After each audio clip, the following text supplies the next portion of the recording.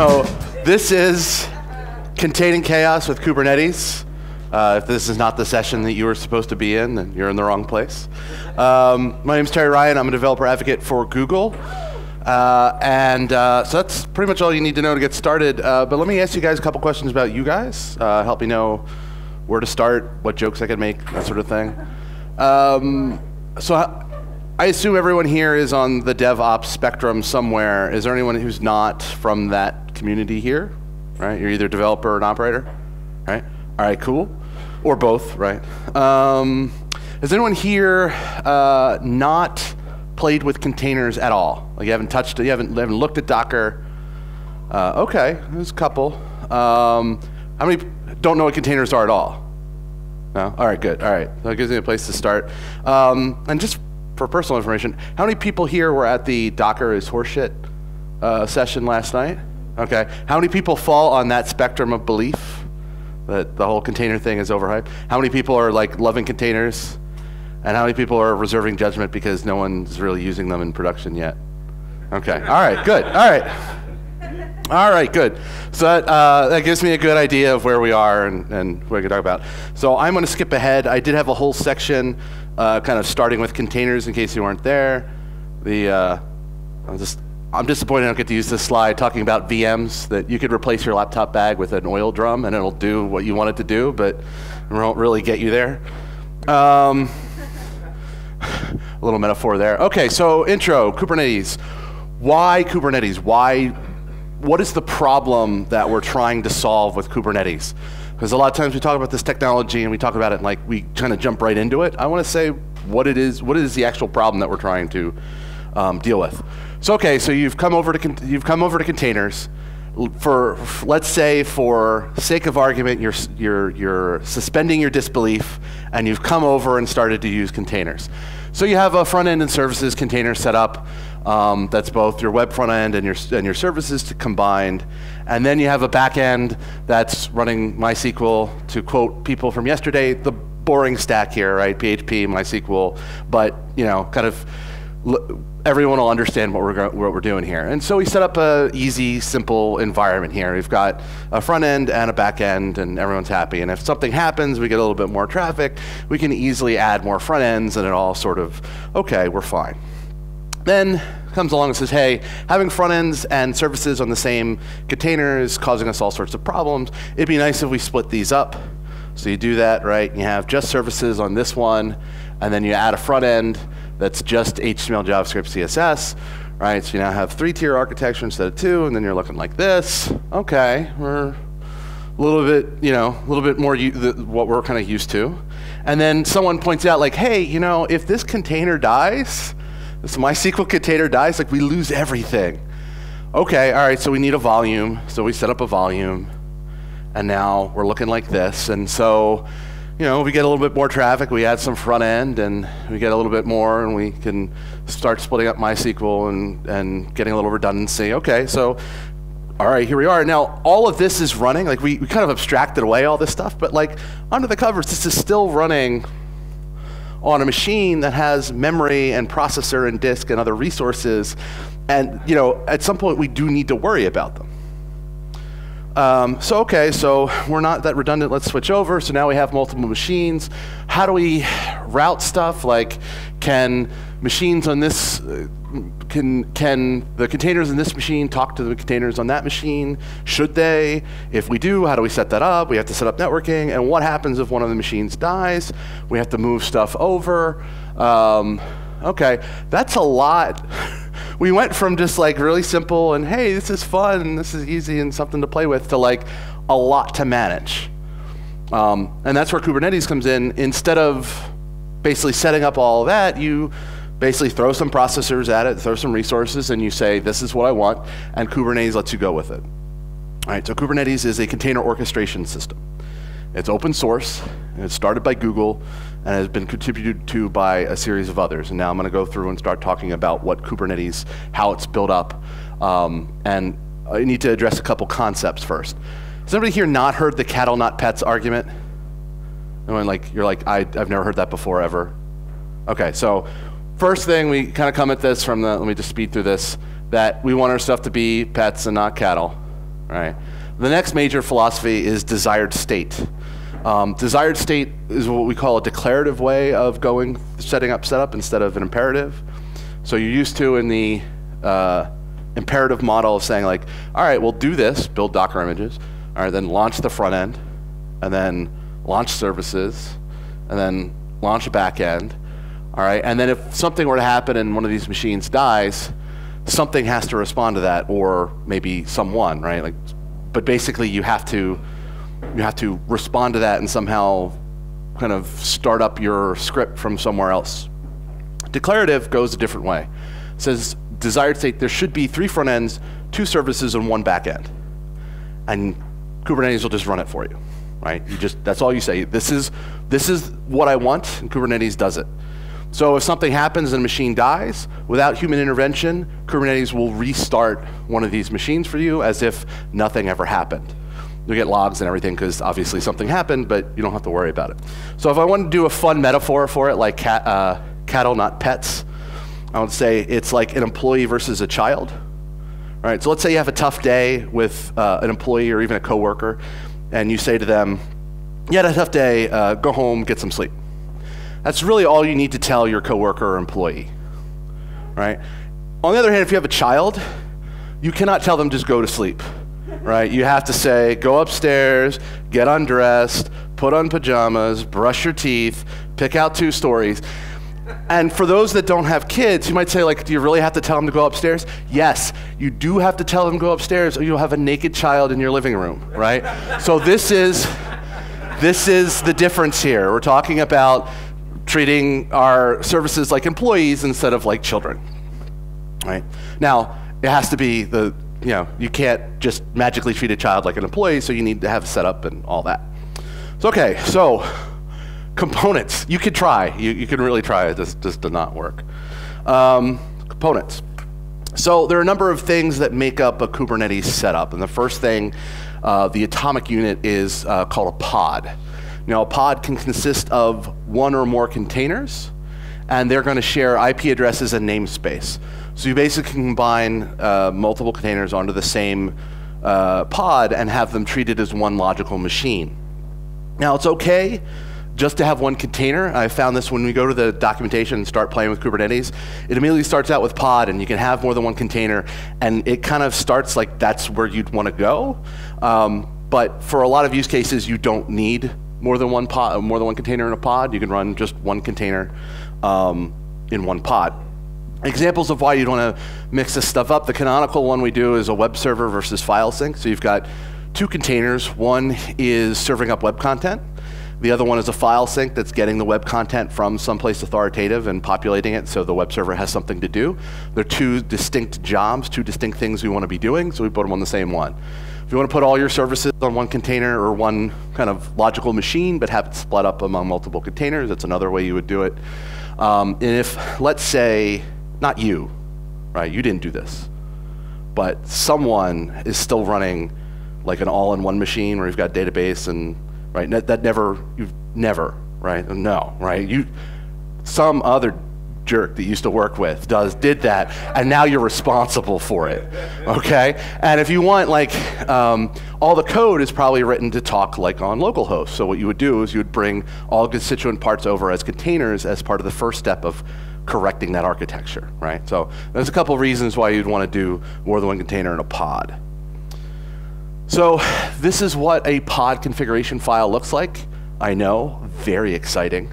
Um, it's YAML. Um, some highlights from this um, kind pod, pretty on the nose there. Um, some metadata, set some names for it, and then I set an image. This image is going from a private repository. We could just as easily go to the Docker, um, the, the, public Docker repository, um, and pull down images. So containers are therefore subatomic in Kubernetes. You cannot have a naked container, as much fun as it is to say naked container. Sounds like you're doing something wrong. You have to, you have to put a sock on the container. Um, but they're Docker files just like you're used to, the same exact syntax, same everything. So next major concept is controllers. So these handle that whole declarative, uh, the desired state idea. So basically, I love this example replication controllers. We only actually, right now, only have replication controllers. Um, down the road, there's going to be other controllers, but for, for now, if you think controller, you're really thinking replication controller. And replication controller handles, all right, you said you wanted five of these things. So now I'm going to look and observe the current state. If the current state is not five, if you know I do a diff and it's running three and five are supposed to be running, I'm going to act and start up another two. Or if I'm supposed to have three and I have five, it's going to see that there are five running and kill the other two. Configuration file for this is a little bit more complex. And again, I'll highlight just the things that are important. Kind replication controller, give it a name, front-end controller. Um, this is important. Uh, basically, this template is this is the type of pod that you want to, to run in that replication controller, which is kind of interesting. And basically, you don't end up writing a lot of pod files. You end up writing mostly replication controller files that contain pod files in them. You can't link them for some reason. Um, there's probably an explanation somewhere, but I don't have it. But right here I, on this app, I put to do to do. It's a to do app if if it's not obvious um, that we're running here uh, dash front end, and that's going to be important later when we get to services. Again, I pull down an image and pretty much exactly like a pod other otherwise. So in services, services defines a set of pods that work together for a common purpose. So all of my front end all of my front end apps are going to run on a service. I'm going to give them uh, a virtual IP address and it's used for exposing the application either to other services within Kubernetes or externally. I can, I can set up external addresses that way too. So if I look at the config file for this, again, just a lot of metadata, setting names and labels and whatnot. Um, but then the important one here is app equals to do to do fe. Basically, any pod that is running with app name this will be served up by this service. So it's the way of linking those two concepts. So that leads us to labels. Um, so I looked a little bit at labels. We looked at app, and that's what you use them for. The other part of that was selector saying, use this label to be your service. And basically, it's metadata for your objects, and it's completely arbitrary. You can do whatever you want with them. Um, in this case, I have three labels. I have an app, a tier, and an environment, so I can do things like select the entire front end and do something to the entire front end, or select the entire prod version and do something to that. Um, and that's how labels and selectors work. Okay, last thing before I actually get showing off Kubernetes in action is uh, networking. So pod IPs are all routable, which means that uh, instead of the Docker way of doing it where you go through the Docker bridge to talk to the other hosts, um, machines will be able to talk directly to one another. Um, you can set up security and you can handle rules like that, but most part, networking is really straightforward and easy. And then combine it with a DNS service underneath in Kubernetes, and you can route services pretty easily to the correct places it needs to go. Um, so pods can reach each other without the uh, without NAT, and they can talk amongst uh, uh, nodes of the Kubernetes cluster without you having to do any work. So basically, as long as they're in the same Kubernetes cluster, they'll be able to talk to each other. Whether or not you want that or not is a different matter, and you need to lock things down, but um, it makes reaching out to other containers or other pods really, really easy. So okay, so I'm going to show off Kubernetes in action. I'm going to set up th some things before, uh, before the demo. I had to do a whole bunch of stuff. So I'm, I'm like, this, this is the you know, last time you know, this is the recap of that. Um, long story short, I set up some machines that are running Kubernetes on them. Um, I then set up a virtual disk so I don't run into that whole, the MySQL container dies and my data goes, you know, boom. Um, I built some Docker images and then I shipped those images to uh, a private Docker repository. All of this took about 10 minutes which would be agonizing slow up on the stage in front of you. I'd like have to stall a lot. Um, I have a video, but again, it's just stuff like transferring. It's not that exciting. Most of that 10 minutes took place here, building the images and pushing them over a network, over my hotel Wi-Fi to, uh, to the repository. So it sort of makes sense that would take the most amount of time. Um, and that's basically everything I have going already. So um, the app is pretty simple. I did not pull it into three tiers because, as if you've talked to me, you'll discover that I'm pretty lazy. So I really only wanted two. Uh, someday we'll go three, but um, and this is again lazy bootstrap, just on a to-do app, pretty simple. All right, so now let's run some Kubernetes. So I have Kubernetes running. Um, and I'm going to do stuff from command line. And I'm really terrible at like mashing my hand against the keyboard and messing stuff up. So I have shell scripts, but the shell scripts will tell you exactly what it's doing as it goes through. Um, so let's start some services. So the first thing I'm going to fire up is you see that it's grabbing, uh, oh, I'm sorry, it's really dark.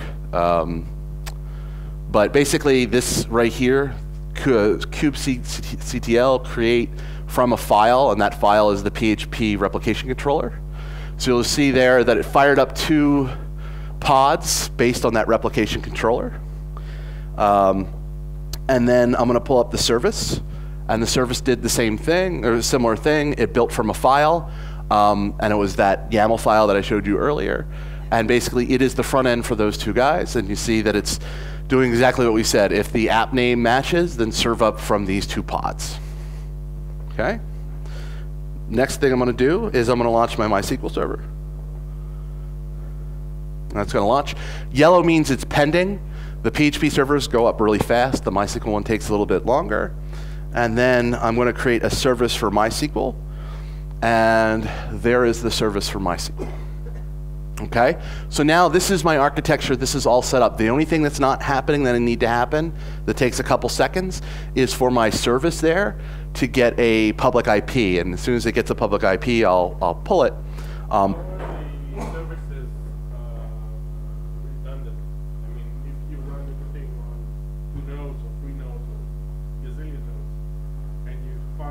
service to uh, a certain amount of backend. What happens? Which instance? It's a special instance on the nodes that holds the service. Great, great question. So how how is this service made redundant? It's uh, right now it, it's it's running on the it's basically controlled by the master controller for Kubernetes, which is not uh, high availability yet. So you're you do have a single point of failure. We are aware of that. We're working on it um, but it is running from the master controller. Assuming the always the Kubernetes bucket, yes, a layer up. Yet. It's 1.0, right? um, so okay, so this is my environment. Oh, actually the app is serving. I've got a public IP address, so I can go and check that out. And we see that this is running. And it's real app, not dummied. Uh, do it live. Save. All right, we added a record. Okay, so it's all living. All right, so what's the first thing I might want to do? Well, the first thing I might want to do is find out that, hey, you know, we're having a uh, uh, substantially increased load. I would like to increase the number of pods that are running my front end. Okay, this is actually pretty simple. I'm going to bump this up because I realize it's kind of hard to read. Bear with me. Ah. There we go. So I'm going to write kubectl scale replication controller. Uh, the replication controller I want to do that to is front end dash controller. And I want to make replicas, what do you think, four? Yeah, I'll go four. If I go like 10, it'll blow up. Uh, not, not because Kubernetes can't handle it, because I'm in front of a crowd of people. Um, and there we go. So I've, I've added another four nodes. So I now have a four, no, four pod uh, service serving up um, on this. Uh, sorry, I'm pointing it here. Uh, uh running on that service. That service is load balance. is going to handle making sure that each one of these nodes is getting some of the traffic, um, which is kind of fun. And obviously, I can script this and do it either um, proactively. I can say like I always get more traffic this time of day, and so I'll add more pods, or I can uh, I can do it reactively, like you know to an alert. Basically, this is you know pretty good to go. So the next thing that might come up is from time to time developers say like, oh, like that whole white this whole light background, this is terrible, right? We want to we want to update the we want to be cool and hipster and dark, right? We want the dark version of this.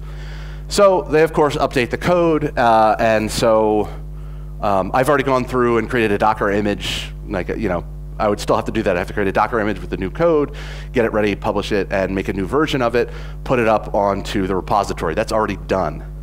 So, um, because it's already done, I can just run a file to handle that. So what I'm to do is say, I would like to update, um, I'd like to update these to the new version of the code. So what I do, and we'll see this conceptually when it happens, is I'll create a new front-end controller that's pointing at the old stuff, um, and basically have the new ones, uh, basically spit up new ones and take down old ones as the new ones come up. So I'm going to run that. And you'll see basically I have a rolling update command, front end controller, update period two seconds. I've added a new front end controller. It's going to add an extra pod. It's going to wait till that pod is actually serving. It's theory. And then drop one of the other ones, one of the V1s. So we see one V2 has been added. There's three V1s. It'll roll through and do this. And the only thing I had to do to get that working is you'll see here I have two replication controller files, one PHP and one PHP dark. I'm going to compare those files for you. And we'll see there's not that much difference. Um, oh, I'm sorry, that's really dark. Can you guys read it in the back, at least kind of get an idea? What's that? Okay, no, no, it's my, it's my bad. I apologize. Um, so the differences are, are pretty slight, right? I have a different image. Um, I also have a different version. That's really important, having making sure those version numbers are different so it knows that something different so it can scale over to it, and having a different ID and name. Everything else is exactly the same. So now, when I go back here, we'll see that uh, in a second it's going to take down, and there we are, we switched over to front-end controller dark. So now, when I look at it, my hipster developer designers are happy because it's now the dark version, which is of course completely unreadable, and I apologize for that, but it, it's still the same exact app. We see the do it live I just added. So everything's the same except for the CSS and, and some of the HTML. Um, so that is a quick, uh, quick demo of it. I just want to make sure I got everything I want to talk about. Yep. All right, so you had a question?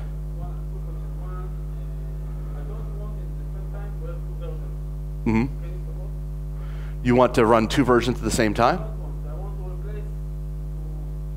Completely stop one and then completely start another one?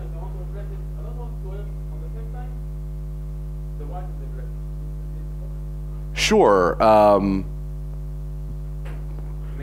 You need a new service probably. yeah, you need you do. So I guess what I'm uh, like, you can totally shut down one completely and start up another one. Um, you can do it relatively quickly, um, but if your if your service takes time, then the role like No, I want to run, I have one machine of one, I want to run another machine. uh Then get transferred to the other one, and I want to listen. oh immediately switch over. There are ways of tweaking it that yes you can you can do things like that. Yes. You have one laptop. How it works is many hardware, many Uh, because n- none of this is actually hosted on my laptop. It's all hosted uh, on a cloud, and I'll explain that. I'll explain that in a second. Um, but yes, I'm not running it all on my laptop because I'm not a sadist or a masochist, I guess. Yeah, no, that's the way it would go. All right, so we also talked about rolling updates, and I showed you that we have a persistent volume there that the MySQL uh, server is looking at. Um, there's more stuff uh, I'm going to not necessarily go right into because there's stuff like secrets and logging and monitoring events and, and UI. There's a lot more to it, um, but I want to get into some questions we commonly get um, right off the bat. So some comparisons. People ask, uh, how does it you know how does it relate to all these different Docker uh, tools? For example, Docker Compose is multiple containers on the same host. Um, Docker Swarm is clusters of container hosts, so basically allowing multiple Docker machines to sort of communicate and uh, and talk to one another. Docker Machine allows you to launch container hosts in several clouds, including on your own device. That's what you use for development now. Um, it also allows you to uh, rem manage remote uh, container hosts. So if you look at Kubernetes, there's some overlap between what these guys do. Um, and we also add routable networks and replication controllers to it. Um, so if you look sort of kind of conceptually, Docker goes with the more Unix, like small tools that you can bind together to work together, whereas Kubernetes is sort of a more, uh, more monolithic system. Um, also, uh, Docker's logos are much cooler than ours. Just, I feel like I really wish we had an octopus instead of like our random like geometric figure that doesn't make a lot of sense. I know, no, it's her. I've seen her blog and, and read her stuff. It's awesome. Um, but yeah, they have much cooler stuff than us that way. Um, the other th question that often comes up is Mesos. Uh, Mesos is a multi-machine kernel. It turns a data center into sort of a logical system. Can do containers, and they've added a lot of features around containers, but that's not where it started. Consequently, it can do other sites, types of distributed jobs like Hadoop um, a lot easier. Kubernetes, on the other hand, is management software for containers, has strong opinions about service discovery and logging. Um, it can run on top of Mesos. And in fact, right now, if you want high availability for Kubernetes, running on top of Mesos is the way to get it. Um, and uh, so that those are the two I get a lot of questions about, the Docker components and Mesos. If you ask me questions later, uh, when I stop for questions, uh, I may or may not be able to go deeper into different uh, technologies, these are the ones I get asked about a lot. Um, it's also important to note that we have really good relationships with both Docker and um, the Mesos team. Um, they were all at like when we un unveiled uh, Kubernetes 1.0, um, and so we all they like we're all in communication, and it's it's actually I'm shocked that it's a relatively happy and pleasant uh, set of interactions between all these teams that are working on all the, the similar technology. It's not very competitive. It's more uh, it, it's much more cooperative than I thought it was going to be. So I want to talk about Container Engine. Um, now, I've mostly talked about developing on Kubernetes. I haven't talked about like administering Kubernetes. I mentioned briefly that I set up a cluster. Um, that process goes something like this, right? You can set up a cluster. You choose an infrastructure. It can be uh, Google, it can be Amazon, it can be Microsoft, it can be Rackspace, it can be a whole lot of others. Um, I may have a skin in this game, right? I may have a preference, but obviously you can set up on all of those, and our docs will tell you how to set up on all of those. Um, I won't say that one is better than the others. Um, then you choose an OS, right? CoreOS, Atomic, or Red Hat Linux, or Debian, or CentOS, Ubuntu. You then provision machines. You boot some VMs up. You install the kube components. You're going to need N plus one, a master, and a node. Um, and then uh, you configure your networking, IP ranges for the pod, services, or service discovery network. And then you start clustering services, things like DNS, monitoring, logging. Uh, and then you have to manage kernel upgrades and OS updates and all of that. Or um, if you're a Google Cloud Platform customer, you go to Container Engine and you'll get this screen. And there's a little button that says set up a, a container cluster and you press it and then you have, uh, you, you have a Kubernetes cluster. So uh, Container Engine is a hosted version of Kubernetes. Um, we set a few smart defaults and we set up the DNS server for you and the logging and the monitoring. We integrate it with all our stuff, but it is still Kubernetes. Um, you still interact with it using kubectl, which is exactly what you do if it was installed on-prem. And uh, in fact, that is what I am running on because I don't like setting up all that stuff. I like pressing the button and have it do it for me. Um, and what I like about this is that that's a lot of stuff, right? Like you're you're building you're you're uh, building machines and then putting you know maybe you're taking physical machines and then putting VMs on them and then putting Kubernetes on top of those and then putting containers inside those. It's like a long way to go to just run a hello world, right? It's it's it's a big kind of undertaking. So what I like about container engines is it really allows you to dip your feet in without necessarily like going whole hog. Um, container registry um, is a hosted container registry um, that goes along with container engine. It's, you can make it private, so if you don't want to share your images with the world, you don't have to. Um, you can be used with Kubernetes engine or not. Um, and so um, now I'm getting at my wrap up section. I'll, I'll stop for questions after this. But basically, Google has been developing and using containers to manage their applications for over 10 years. Um, we had this discussion about Docker being horseshit and got to a bigger thing about containers. Someone kind of asked me after, I was like, well, how does Google feel about this? We, we love containers. We think this technology is fantastic. Um, but we are managing stuff at a scale that not a lot of people run into, right? Like, so looking at this, like everything at Google runs on containers, Gmail, web search, maps, MapReduce jobs, GFS Colossus. uh, even Google's cloud platform VMs. No, it's not true. VMs are VMs, right? But the containers tell them what to do. I catch everyone's like, this is a container, this is a container, and even our VMs are containers. What? No, just kidding. Um, no, but containers, containers do all the management for them and, and run them. Um, we launch 2 billion containers a week. So maybe we're a little vested in containers and we, you know, we, we, we think this technology is great. But I, I, I caution you, um, we think that containers are a way to manage scale, and we have scale that's at a very high level. Um, you should carefully consider whether running everything on containers is right for you. Um, like I said, that's a lot of work, and maybe there are other solutions that make more sense. You really need to test this out and dip your, dip your feet into it before you go crazy. So when I say you should carefully consider whether running everything on containers is right for you, please, I beg you, do not hear you should run everything on containers, because that is not what I am saying. I'm saying you should, you should carefully consider whether running everything on containers is right for you. Uh, Kubernetes is open source, so Kubernetes.io. Uh, it is started. It was started by Google, but um, we have turned it over to the foundation now. So it is technically not us running it anymore. Although the foundation is all run by people and us, but you know, like having that separation is is good. Um, and they have people uh, on IRC all the time. That's uh, Kubernetes uh, Twitter handle.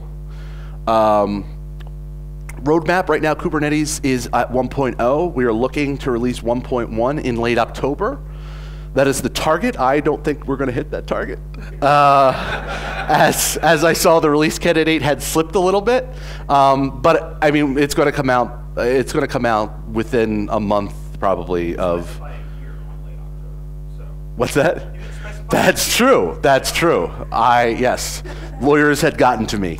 Um, so uh, what's that going to entail? Support for Docker 1.8, uh, graceful pod termination instead of shooting them in the head. You can kind of gently, gently put them to sleep. Um, improvements to kubectl, support for up to 250 node clusters. Right now, uh, recommended is 100. Um, you can go more than that, but here there be dragons. Uh, hopefully, we'll get it to 250 node clusters by then. Also, horizontal pod scaling. So right now. Um, pod, like you have to some, something has to tell the pods to to scale to, to do that command. Uh, in 1.1, we'll just if you're you're having too much load, we'll add more pods until I don't know until the server runs out of memory or something. I don't know. Uh, that'll tell me details of that, and then job objects. So if you like Kubernetes but are wondering what the hell I'm getting into, it's why I really point out that Container Engine can make dipping your toes in a little bit easier. Also. Um, if you haven't tried Google Cloud Platform and you want to dip your toes in, we give you $200 of free credit for three for the 300 for two months or 200 for three months. It's it's it's 300 for two months. It's 300 for two months. Uh, it's $300 for two months, and um, you will not, no matter how, what you do, you will not spend $300 on Kubernetes clusters in, a, in two months. You, you, won't. So you can, you can really play with it and dip your feet in and see what it is. So um, I want to say thank you. Um, if you want to, and I'll pause for questions. If you want to get in touch with me, TP Ryan at Twitter on Twitter is probably the best way. Um, either heckle me or ask me questions. Either way works. The Prezzo is not up. This is a lie. It will be after I'm done. I was changing it last night and changing it this morning. So bit.ly TP Ryan dash chaos. It'll be up probably in the next 10 minutes. Um, but with that, I'm going to break for questions. Anybody got questions? Yes.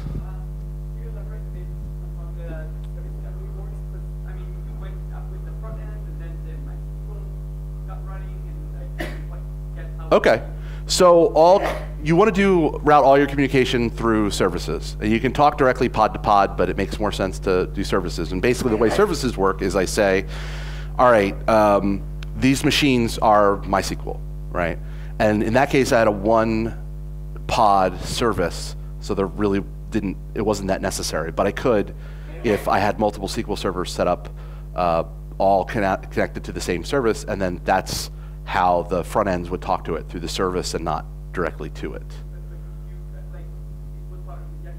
Yeah, there was a YAML file. And I was trying to balance like showing config files and boring people to death versus, um, but yeah. It, so everything that ran when I when, I- when I hit a pause, it was processing a YAML file and doing something based on it. So Yes. Generally, it's uh, DNS record the server, and then you call the test environment variable. Cor- uh, correct. Yeah. But uh, you said that it runs only on the master, so I'm limited to both the traffic limit for that master Correct. and Yep. other. Yep. So yes, high availability is coming. It's uh, I think it's roadmap for version 1.5. Um, So it's like 2018. no, no, no, not that not that far. Um, it's supposed to be out next year. Um, and right now you can get high availability with Mesos. I'm not entirely sure. I've just seen the bullet point somewhere that you can do that. I'm like, okay. If Um, I I do that right. having a container that has Yep. to jump from place to place. Yep. No, we need we need to get multiple masters working, and we're working on it. Okay. Uh, I've been really heavy in this section, so I'm going to go over. I'll come back. Yeah. Is Kubernetes built from the same source code that Google has been using for the last few years, or maybe Uh, that's a great question. So some people know about Borg, which is our internal uh, container scheduling service. It is not the same source code. Those guys that worked on that um, basically got together and said, "What if we could do it without making all the mistakes we made for the last 10 years?" And so they built it from scratch, but it's all based in like what we learned internally about it. More importantly, it's based on a lot of the mistakes we made internally. Like we've we've like don't go down that path. That's why pods were there from the beginning. Like we've sort of figured out some of this stuff, and so it's definitely the same engineers, um, and it may or may not at some point go internal too. But right now, they're, they are separate uh, for the for that express purpose that we we we figured out what we should not do, um, and got to fix those. Yes. API compatibilities. Uh, right now, it's Docker 1.7 and one, one, uh, Kubernetes 1.1 will be compatible with Docker Netty, uh, Docker. Whoa, uh, sorry, uh, Kubernetes. Kubernetes. Actually, I know somebody who is trying to run Docker on Docker, and whenever he talks about this, I just play the Inception theme. Like I don't even I don't even let him talk. Um, and uh, so 1.8 is is spec for 1.1. 1.8 of Docker for Kubernetes 1.1. Yes. What would be the major value of adding Kubernetes uh, into uh, uh, an environment that actually is already performing all this with uh, based on Salt Stack, for instance? I'd argue probably not a lot, right? Like, I don't. It's it's a tool, right? Like, uh, it might work for you if you're already if you're already basically achieving this sort of environment without having to without having to switch. Why switch? Any other questions? All right, I'll give it one, two. All right, thank you guys very much. Enjoy the rest of the day. Thank you.